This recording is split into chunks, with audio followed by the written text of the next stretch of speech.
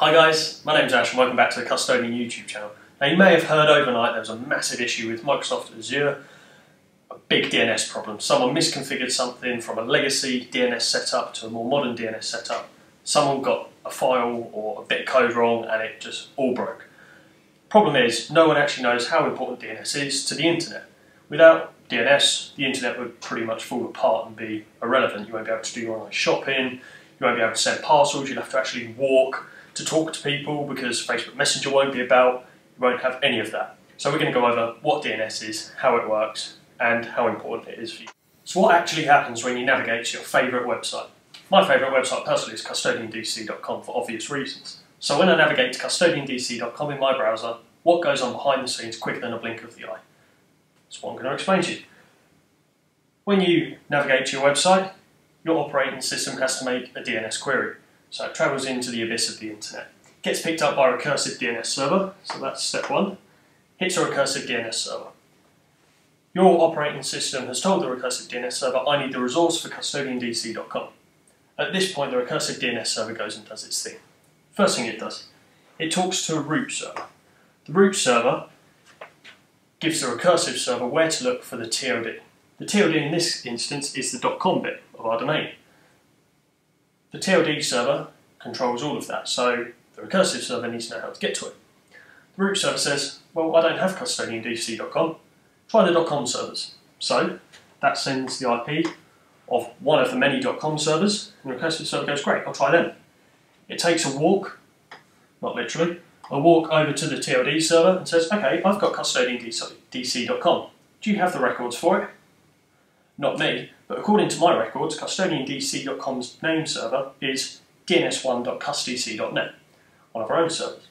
So again, the recursive server gets given that information by the TLD server, and he goes, okay, let's go to dns1.custdc.net. Takes a trip to DNS1, which is the authoritative name server for this particular domain. Once it gets there, it says, okay, I need to know where custodiandc.com lives. The authoritative server goes, actually, yeah, I know where that is. Here's the IP address of the server. So the authoritative server gives the recursive server the IP address of the server at which the files for the custodian DC website that you guys know and love lives. At this point, the recursive server says, okay, in order to get to that, you need to go to this server. The operating system picks it up, brilliant, okay, I'll go there. But what actually happens once it's got back here? Well, your browser makes a GET request to the server. The server has one IP address, could have more than one IP address, but 9 times out of 10 you'll have 15, 20, 100 websites on one IP. So your browser has to make the request to the server and say, okay, server 192.168.1.1, I need the files for custodiandc.com. In the background, the server's going, okay, that's not custodian DC, that's not custodian D. Oh, there it is, custodian DC. The files are located here. So it goes to the directory on the server where those files are, does all the all the um, compiling on that side if it's PHP, sends it back to the browser, and you get custodiandc.com. This is the backbone of the internet. The internet and the World Wide Web are different. The internet is a load of networks. This, however, is a massive, massive part of the internet. Without DNS, you wouldn't be able to watch your favourite cat videos, you wouldn't be able to watch our videos, you wouldn't be watching this. Think of it as yellow pages for the internet. If I said to you, oh, just take that to John's house, where's John's house? You'd go through your yellow pages. Oh, look, there's John, there's his address. Same sort of concept. It's correlating a memorable word, such as custodiandc.com, to a random IP address, of which there are many, many millions of. So, yeah, it's just an easy way to get your favourite websites without having to remember 192.168.1.1 for one website. Okay, so what happened in relation to what we've just discussed and what happened with Microsoft Azure last night?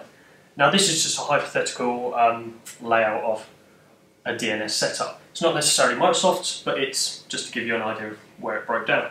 So if this was the Azure.com authoritative name server, the one that holds all of the records for, say, vms.azure.com, dbs.azure.com, effectively what happened is this little bit here failed. There was no way for the DNS resolution to happen, there was no way for the name of vms.azure.com to be converted to an IP address because of this failure. Again, it just goes to show how important it is. There's massive businesses running off these sort of things. They're using virtualization provided by Azure, databases, cloud storage, and just because of a simple failure like that, it all went off. It's such a critical part of modern day life. It's it runs everything, not literally, but pretty much everything. So the breakdown here was more than likely human error. It doesn't just stop working. There's so many servers in place that they won't have just one DNS server. They'll have 5, 10, 15, 20 that are all load balanced so they can sort the requests appropriately. But the problem is, you'll have one master server that replicates all of them. The mess up would have then been distributed across their entire DNS network. So all their customers can no longer access vms.azure.com because when, what we talked about previously, when your browser asks where vms.azure.com is, no one knows because it's broken. There's no way to convert that to that. So unfortunately these things happen, but it just it's just a reminder of how critical DNS is and how important it is for technical people like myself, my colleagues, your IT department in your business to understand how this works because you could have a customer report a problem that is DNS related and if you don't fully understand how it works, you might not resolve it, you might resolve it but it takes longer. At the end of the day, if you know how it works, when the customer's telling you the problem, you've, you've done a diagnosis in your head before you've even hung up the phone. You know where the problem is.